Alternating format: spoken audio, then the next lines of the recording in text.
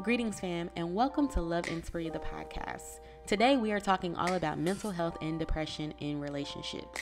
If you've ever been depressed, full of anxiety in your relationship, and you want to know how to navigate it, you want to stick around for this episode.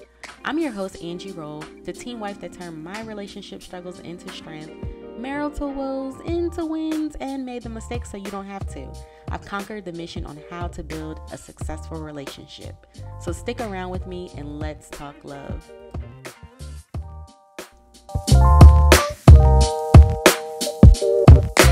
Hey guys, what's up and welcome to episode 46. Today we're talking about depression in relationships. But before I get into this heavy topic, I want to tell everyone that my husband said he will be back soon I don't know. We'll see next episode. So we'll, we'll, I just wanted him, I know he listens to my podcast when he's not wanted. So I just wanted him to know that I told you guys what he said. So anyway, today we're talking about depression and relationships. I totally don't have an outline. Uh, so if this sounds kind of all over the place, I sincerely apologize. But these are just my thoughts and my transparency at the particular moment about suffering with depression in your relationship and or marriage. So a couple of weeks ago, uh, I was talking to somebody very, very close to me. I'm not going to identify who it was just because it's, it's, not necessary. Just know it was somebody close to me, but it was not my husband. And we were talking about her problems. We were talking about everything that she was going through. And I said to her, just as a reminder, not to hurt her feelings or anything, that, you know, everybody has problems. You know, I, she was like, and I told her, I was like, I have problems. So her response was, well, you have somebody to talk to.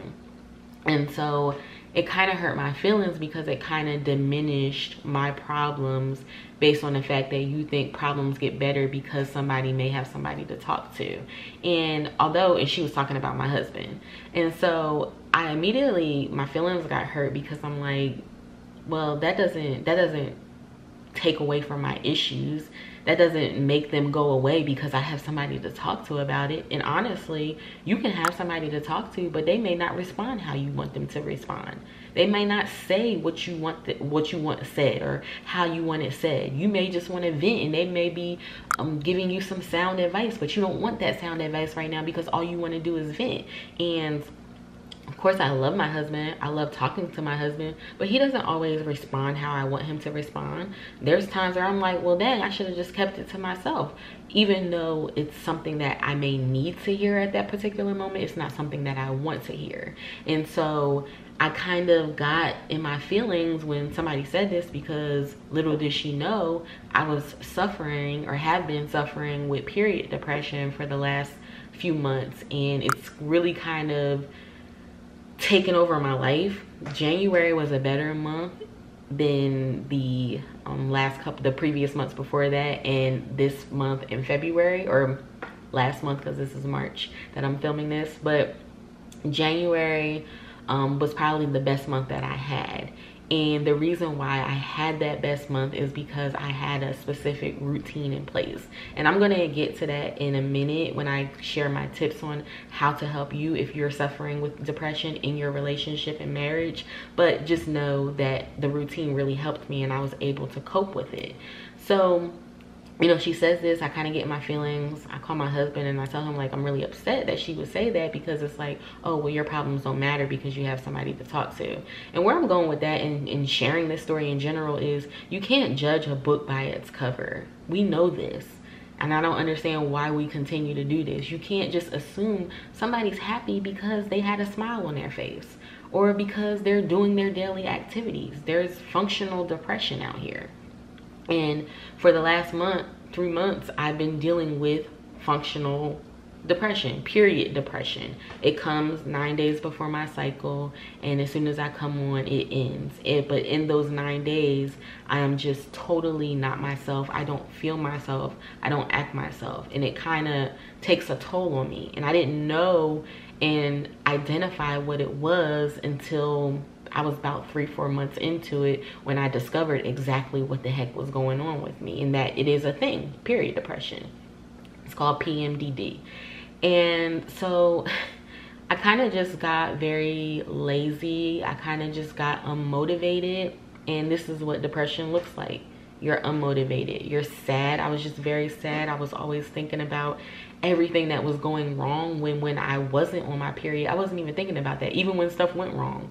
Even when I, uh, you know, miss things or I mess up, like I wasn't even thinking about, oh, it's just like, oh, it's a mistake. But when that time came, it everything just enhanced to next level and of course i tell you all the time you know to be whole when you enter a relationship. But the truth is we're going to go through things where moments we're not going to be whole. We're going to go through things go through things where we're not the relationship is not going to be 50 50 it's going to be 90 10 it's going to be 80 20 it's going to be 70 30 it's never truly i mean sometimes it can be 50 50 but on days where your partner is feeling down which has been my case you have to be that person to carry that load and lift them up where they need to be lifted. And so i have been experiencing all this.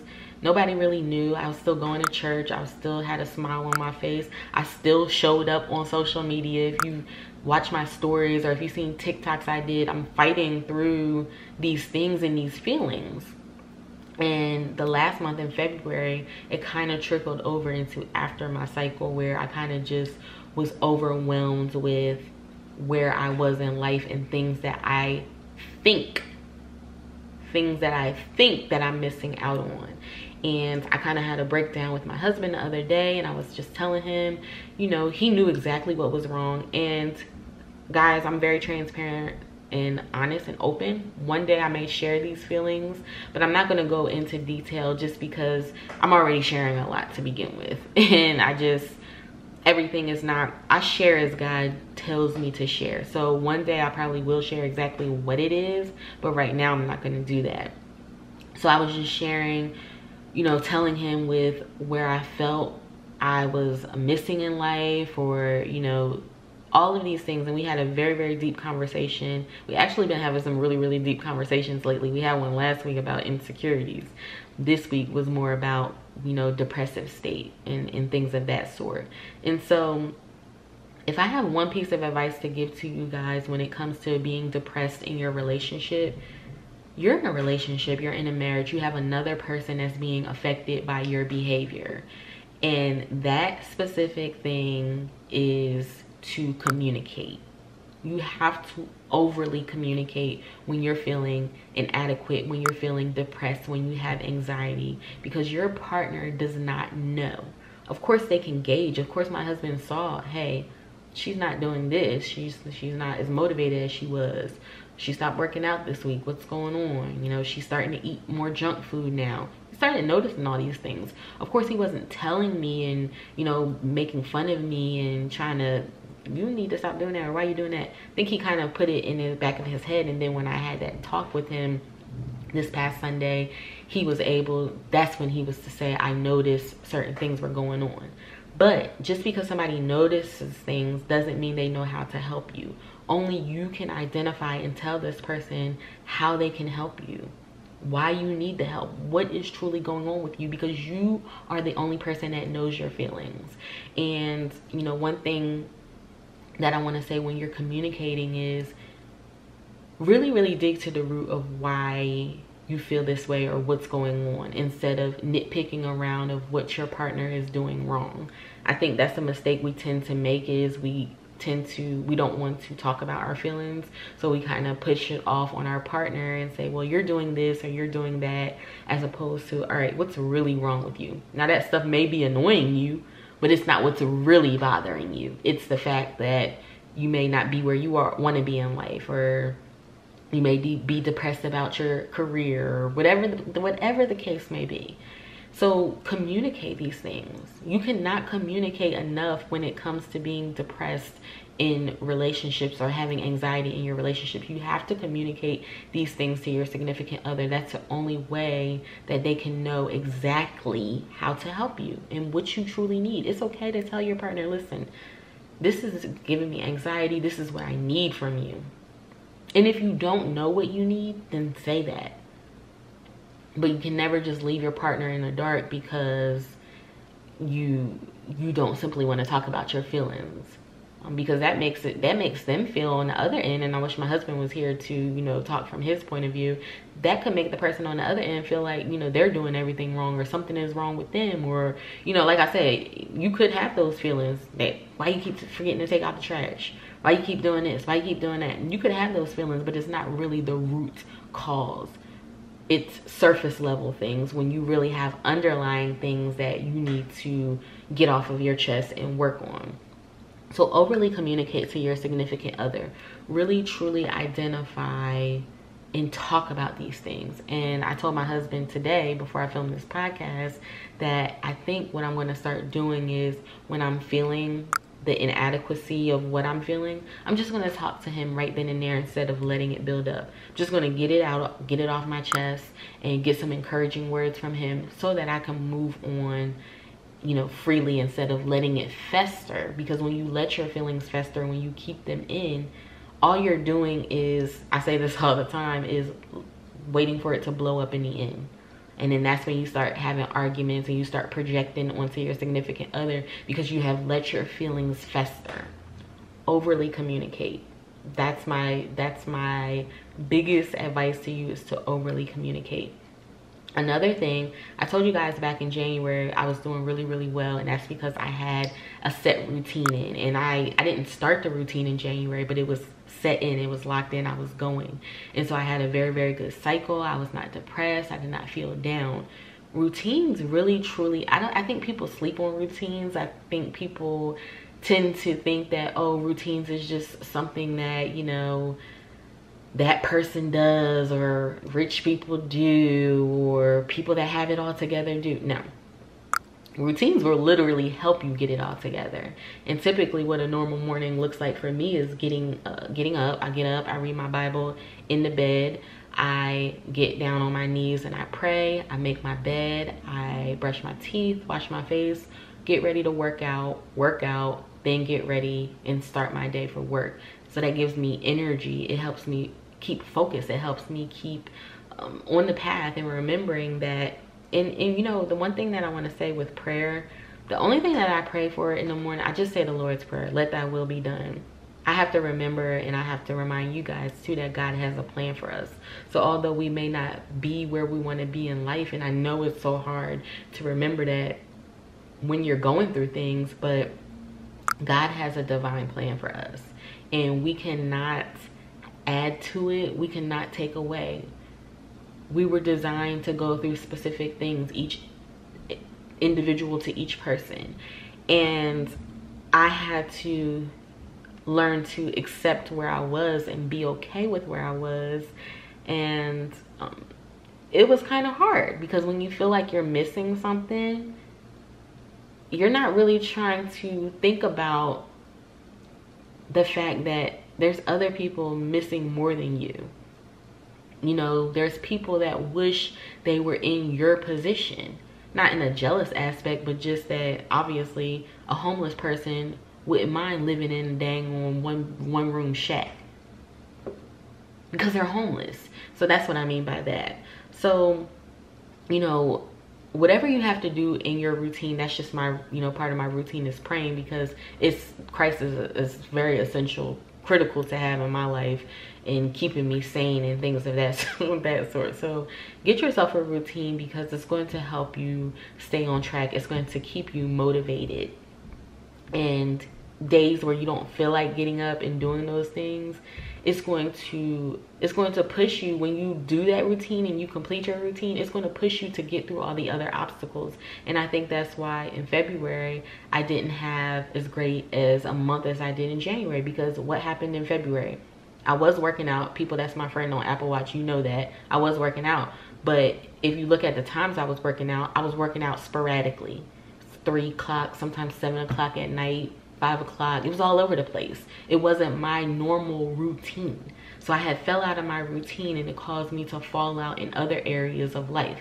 I was unmotivated. I was kind of just all over the place. Routines truly, truly help you stay on task. They help you stay motivated. They help you formulate good habits and it'll trickle over into your, in like I said, in other aspects of your life.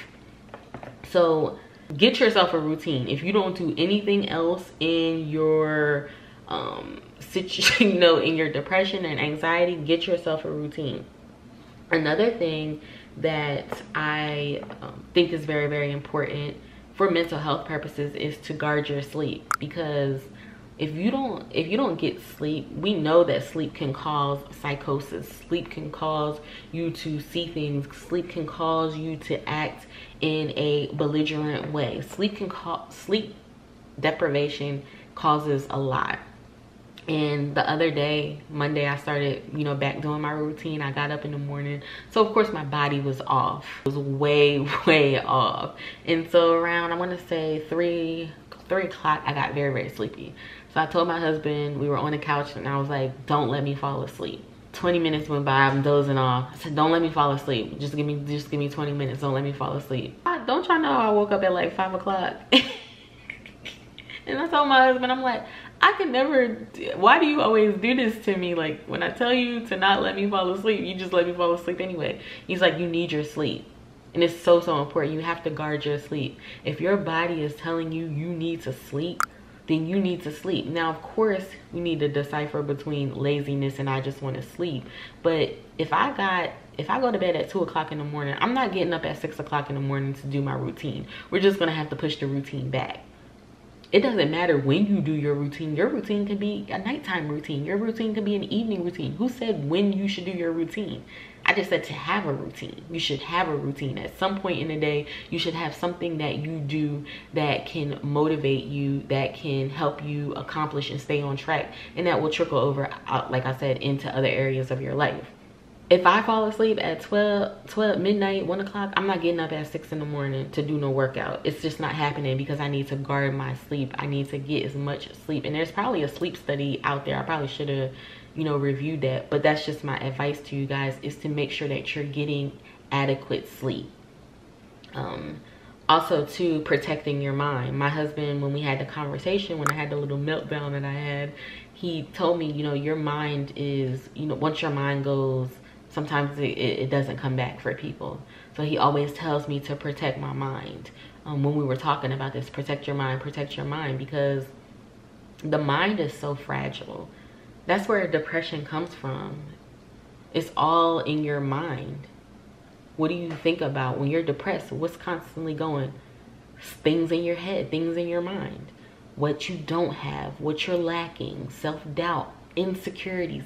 All of that is happening in your mind. People can literally look at you and tell you you look beautiful but in your mind you're like i am ugly.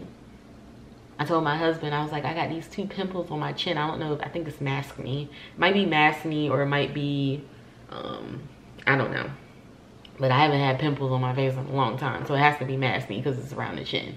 And he's like, you can't even see that. And I was like, well, I can see it. I don't want to be on camera you know, doing YouTube videos with people that can see that. And not that I, not that I care, but I was kind of using it as an excuse as to, it was just an excuse. That's all it was. It was just a simple excuse as to why I couldn't do what I needed to do. And it's all in my head was all in my head. Because normally i am a person that just i don't wear makeup. It's like if you don't like the way i look then don't look at me. You know what i'm saying? And not that i don't knock people that wear makeup. I don't knock people that you know use any kind of enhancements. It's just not i'm not getting up early to do that. If you don't like the way i look then look at me. And that's just always been my attitude. But so for me to care about two pimples on my face really showed me that it's all in my head. It's all in my mind. And you really really have to guard your mind because it's so so fragile and it's easy for people to attack. Even if you have to remove yourself from people that aren't uh, investing in you. And what i mean by investing is empowering and motivating you and inspiring you in some kind of way in some kind of capacity then maybe you need to remove yourself out of their lives. Um, also another thing with you know depression in your relationship so watch what you intake I'm talking about on social media. Take social media breaks. They're so, so important to your life. Take social media breaks. I'm talking about guarding what you watch on TV. All of these things give you an illusion. Most of it is not reality. Most of it is not reality on social media. Now, some some things are reality. Some things are real. Some people are rich rich some people have money to buy private jets and then some people are faking it so they make it. Watch what you intake. Because all that can play a role in your head. I take frequent social media breaks all the time. I do it all the time because i have to protect my peace. I have to protect um, people that may say negative things. I have to protect people from being in my business all the time. I have to protect myself from oversharing because we can overshare on social media right? So there's protect what you intake. Protect yourself. That's part of you know up in the head. So those are things that actually helped me. I think we're like 20 minutes in. So those are things that kind of helped me not kind of have helped me navigate depression. Being in a marriage it can be difficult to get somewhere or you know navigate it could be difficult in other words what i'm trying to say it could be difficult trying to invest and nurture a relationship when you feel the way that you feel. But that's where communication comes into place. Either you can do something about it or you can make excuses. I posted that in my stories. A lot of us make excuses instead of decisions. You have to make the decision that all right i'm going to communicate what i'm feeling. I'm going to build my confidence up. You build confidence too by having a routine taking care of yourself. I am going to guard my sleep. If I need it, I'm going to take it and protect my mind, which is most, most important. Protecting your mind. Even if it's family members that you have to protect yourself from, they're not exempt. Protect your mind before you do anything else. And, you know, just remember Christ in all this. He does nothing wrong so everything that you're experiencing, everything that you're feeling is for a reason. And I know my reason is to strengthen my brother, strengthen the person next to me. And this is why I'm sharing this particular podcast because it's so real. Depression, anxiety, it happens in marriages, it happens in relationships. Um, most majority people are going to go through some kind of anxiety, possibly leading into depression. And so I wanted to share my experiences, things that have helped me overcome and get through it and hopefully that you can overcome and get through it as well. So if you have any questions if you want to reach out to me regarding any kind of depression or anxiety anything you're feeling in your relationship please feel free to hit me up in the dms we can talk about it. I know exactly what you're going through. If you're somewhere if you're not where you desire to be in life know that you are where you're meant to be know that you have something to learn in this season of your life and i'm here for you. I suffered with depression. I suffer with it. Um, mine just happens to be caused by my period um, and we're working on that to get that under control. But depression is depression. Postpartum depression mental mental what depression is depression no matter what form it comes in. Um, so yeah uh, and check on your strong friends too.